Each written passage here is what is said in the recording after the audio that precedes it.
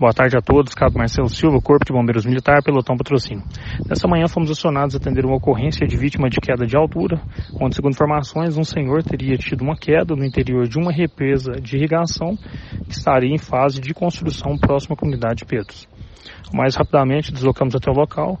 onde nos deparamos com a vítima que se encontrava realmente no interior da represa. Segundo relatos, este teria escorregado com um piso que é de plástico e realmente estava bastante escorregadio,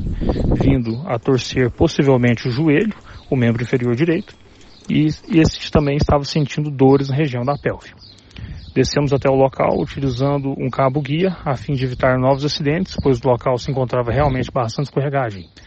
é, realizamos a imobilização da vítima com o uso de prancha basket e posteriormente, com técnicas de salvamento em altura,